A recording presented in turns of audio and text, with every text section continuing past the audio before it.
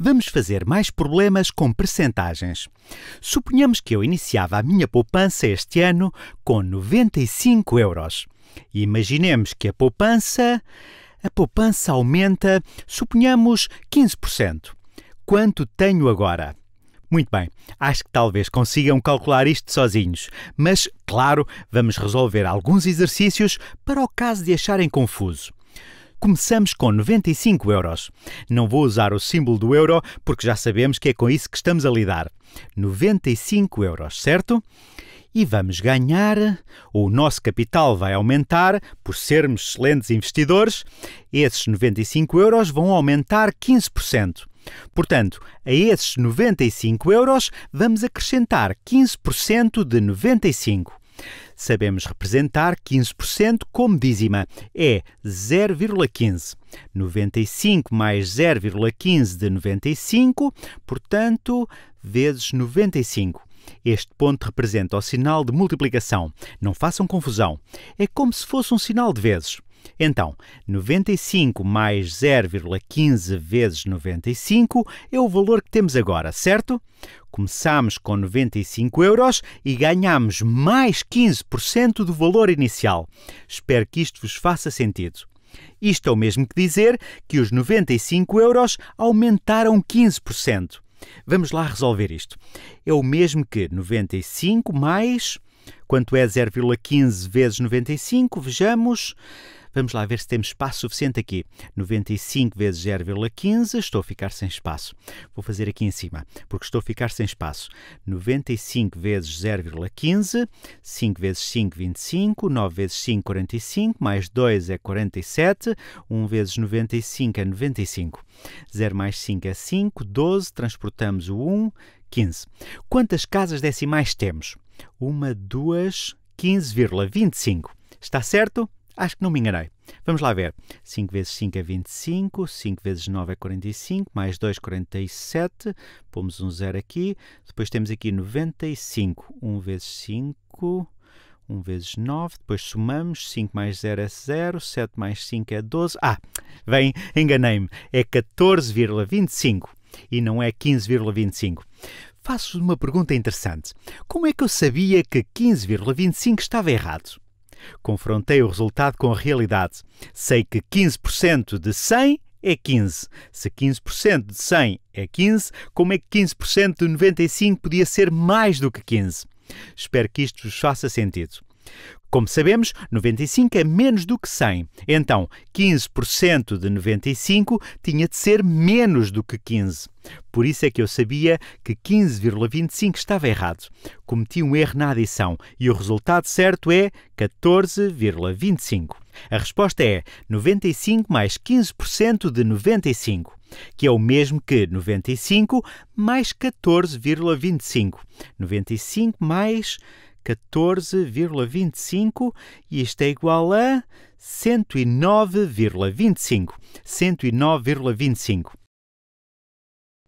Se começarmos com 95 euros e as nossas poupanças aumentarem, ou o dinheiro que tivermos aumentar 15%, ficamos com 109,25 euros. Vamos resolver outro problema. Suponhamos que começamos com uma determinada quantia de dinheiro e após um ano a nossa poupança aumenta, a nossa poupança aumenta 25%. E após, após ter aumentado 25%, passamos a ter, por exemplo, 100 euros. Quanto tínhamos no início?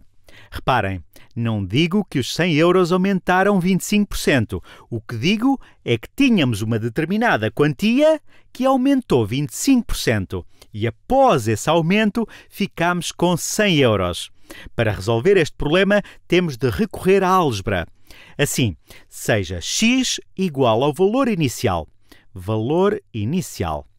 Tal como no exercício anterior, o valor inicial é x e aumenta 25% x mais 25% de x é igual a 100. Também sabemos que podemos escrever isto como x mais 0,25x é igual a 100. E temos aqui um sistema de nível 3. Não, uma equação linear de nível 3. Só temos de somar os coeficientes de x. x é igual a 1x, certo? 1x mais 0,25x é o mesmo que 1 mais 0,25x. Estamos a usar a propriedade distributiva, mas em sentido inverso. É igual a 100. Quanto é 1 mais 0,25? É fácil, é 1,25. Assim, 1,25x é igual a 100. Não é muito difícil. Depois de resolverem vários exercícios destes, perceberão intuitivamente que se um número aumentar 25% e o resultado final for 100, significa que 1,25 vezes esse número é igual a 100. Se não estiverem a perceber isto, pensem um pouco nisto. Revejam o vídeo se for preciso. Com o tempo acabará por vos fazer todo o sentido. Este tipo de matemática é mesmo muito útil. Já trabalhei com fundos de investimento e usei este tipo de matemática constantemente. Então, 1,25 vezes x é igual a 100. Portanto, x é igual a 100 a dividir por 1,25. Acabei de me dar conta de que provavelmente vocês não sabem o que é um fundo de investimento. O meu trabalho consistia em investir em ações. Bom, mas voltemos à matemática. x é igual a 100 a dividir por 1,25. Vou apagar isto porque já usei demasiado espaço. Vou apagar esta frase, ou melhor, vou. Já sabemos o que é x e também como já chegámos lá. Se se esquecerem disso, podem rever o vídeo. Vejamos.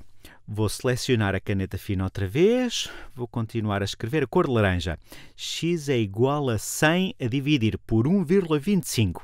Então fica 100,00000 a dividir por 1,25 acrescentei vários zeros, porque não sei quantos vou precisar. Se deslocar esta vírgula duas casas decimais para a direita, temos de deslocar esta duas casas decimais para a direita também, certo?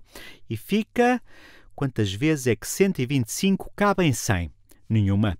Quantas vezes é que cabe em 1000? Oito vezes. Isso de cabeça, mas podemos chegar lá também por tentativa e erro. Pensem assim: 8 vezes 100 é 800 e 8 vezes 25 é 200. Portanto, dá 1000. Podem fazer a conta se quiserem. Acho que estamos a ficar sem tempo, por isso tenho de me despachar. 8 vezes 125 é 1000. Lembrem-se, esta vírgula não estava aqui. 1000 menos 1000 é zero. Podemos baixar o zero. 125 cabe zero vezes em zero e vamos acrescentando zeros. É um exercício de divisão com casas decimais. Então, se a poupança aumentou 25% e ficamos com 100 euros, quer dizer que o valor inicial era 80 euros. E faz sentido, porque 25% é exatamente um quarto, certo? Se começarmos com 80 euros e a poupança aumentar um quarto, significa que aumentou 20 euros. 25% de 80 é 20. Então, se começarmos com 80 e obtivermos um acréscimo de 20, ficaremos com 100 e faz sentido. Então, lembrem-se, um número vezes 1,25, uma vez que há um aumento de 25%, é igual a 100. Não se preocupem se continuarem a não perceber. Vou fazer pelo menos mais um vídeo com uns exercícios destes.